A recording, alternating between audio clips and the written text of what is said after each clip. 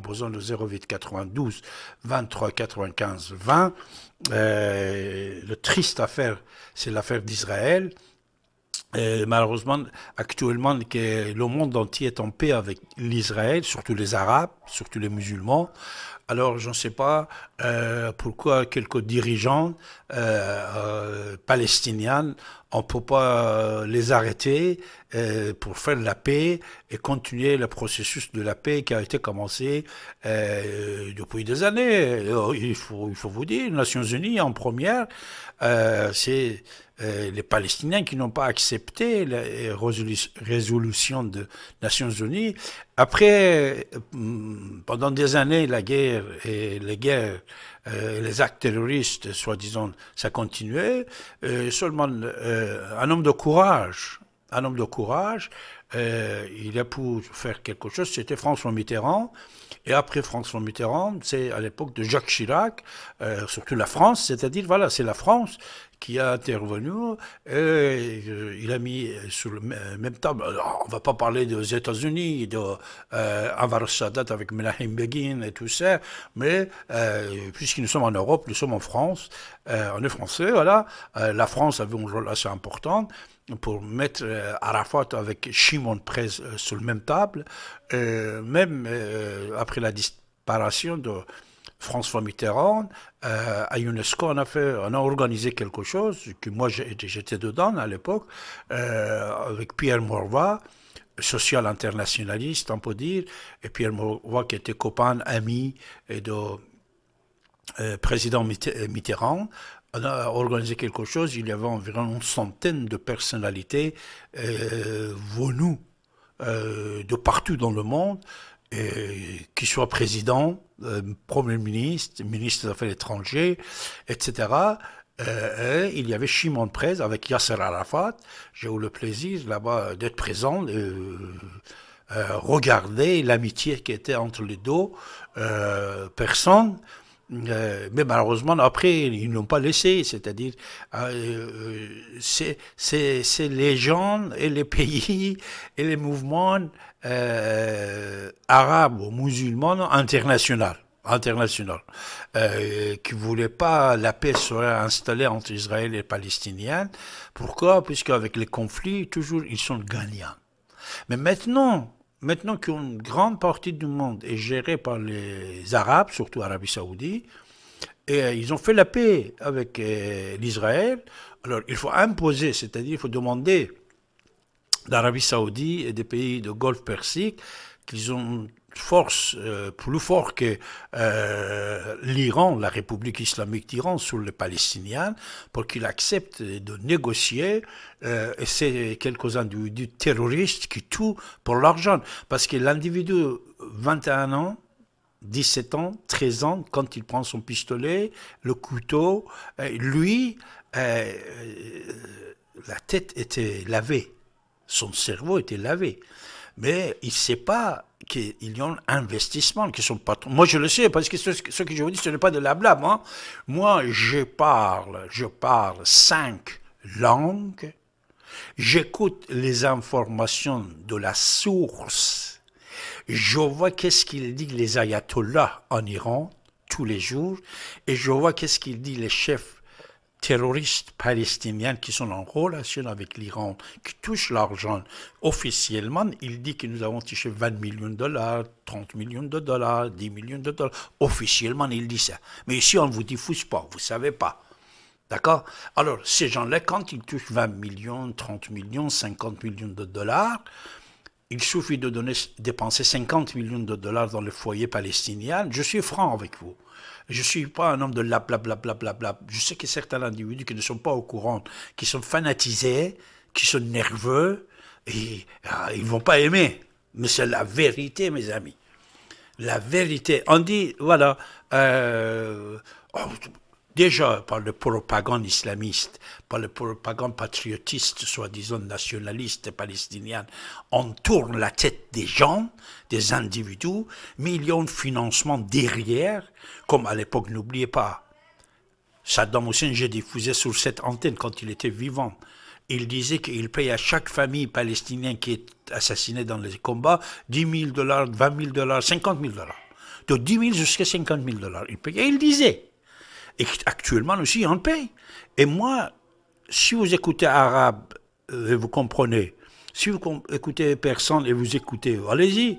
Les patrons terroristes palestiniens, ou même quand ils sont en Iran, ou en, dehors d'Iran, ils disent qu'ils touchent de l'argent. Et cet argent, ils touchent par des millions, mais ils dépensent quelques centaines de milliers parmi les foyers palestiniens, comme Michel tout à l'heure il a dit, quand euh, euh, la famille n'a pas d'argent, n'a pas de travail, qu'est-ce qu'il a fait? Il, tombe dans le piège. Écoutez Hassan Nasrallah. Écoutez, je sais que vous êtes très nombreux que vous comprenez arabe. Écoutez le propos M. Hassan Nasrallah sur l'Internet, vous pouvez le trouver facilement. Lui-même, il dit, il dit, euh, quand on a fait la guerre avec l'Israël, après c'est la République islamique d'Iran, c'est Ali Khamenei qui a dépensé plusieurs milliards de dollars pour nous.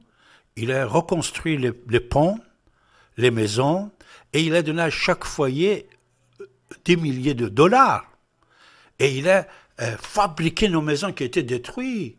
C'est-à-dire l'argent c'était donné et financé par euh, de la guerre et la famille qui était victime ou tuée ou leur maison était détruite, oh, voilà, euh, était financée par la République islamique d'Iran avec le peuple des Iraniens, avec l'argent des Iraniens, l'argent des Iraniens. C'est grave ça. Mais ça, vous ne savez pas. Beaucoup de gens ne savent pas ça.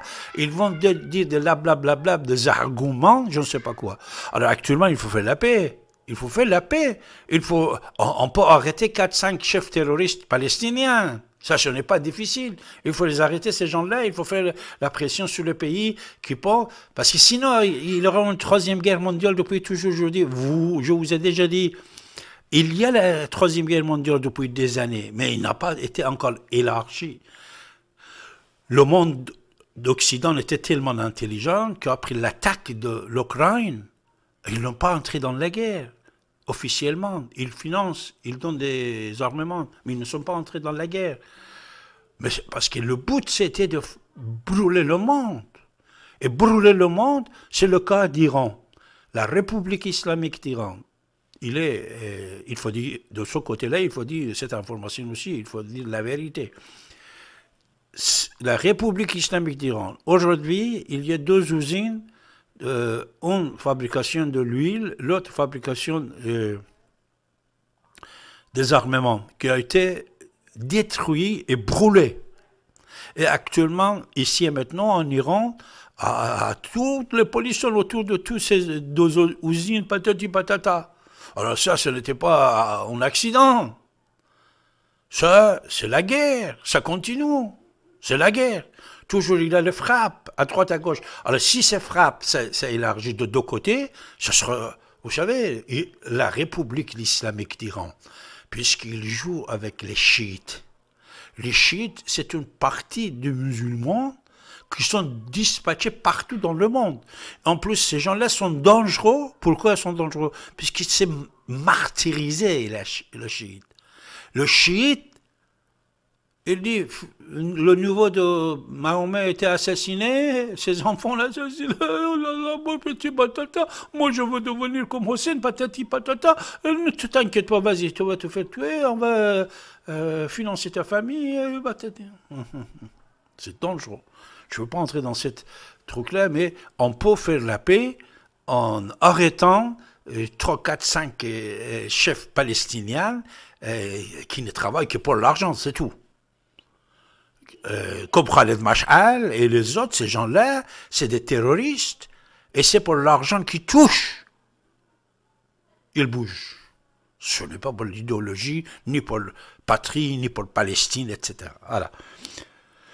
Vous pouvez intervenir en composant le 09, euh, non, 08, pardon, 08 92 23 95 20. Allez là pour vous écouter, mes chers amis.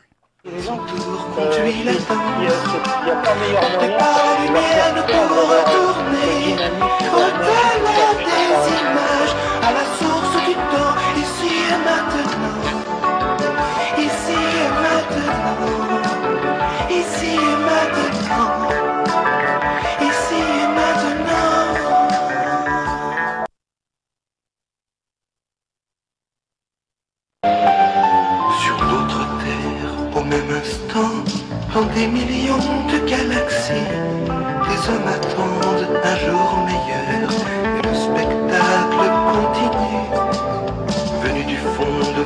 Pour rappeler à l'essentiel, nous visitons notre présent comme des mutants de temps en temps.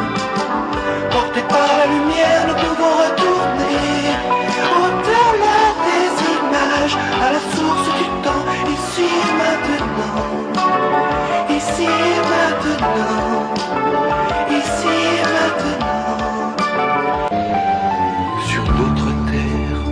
Instant, dans des millions de galaxies, les hommes attendent un jour meilleur et le spectacle continue.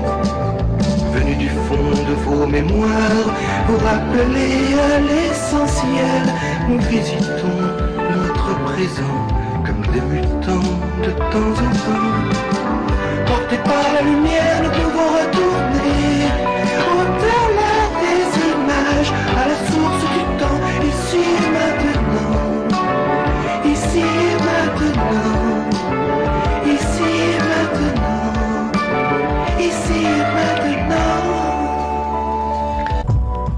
95.2 FM radio ici et maintenant fondée par Didier Deplège en 1980. Radio interactive qui vous donne la parole et la possibilité d'échanger vos idées dans un cadre humain et fraternel. De n'importe quelle couleur, pensée ou origine, vous avez la parole. Vous pouvez nous écouter aussi grâce à Internet sur n'importe quel support, smartphone, iPad, ordinateur, n'importe où, à la maison, au travail, dans le métro, le bus, partout. Également présent sur le DAB+, canal 9A. Pour vos questions et interventions en direct, vous pouvez composer le 08 92 23 95 20. 08 92 23 95 20.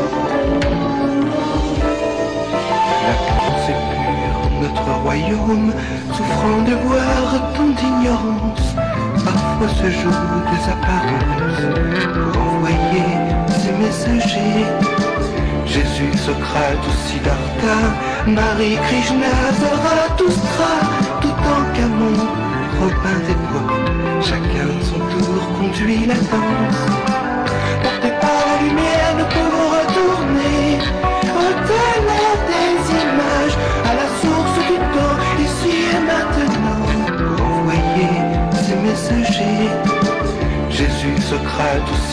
Siddhartha, Marie, Krishna, Zarathustra, tout en Camon, Robin des Bois, chacun son tour conduit la danse.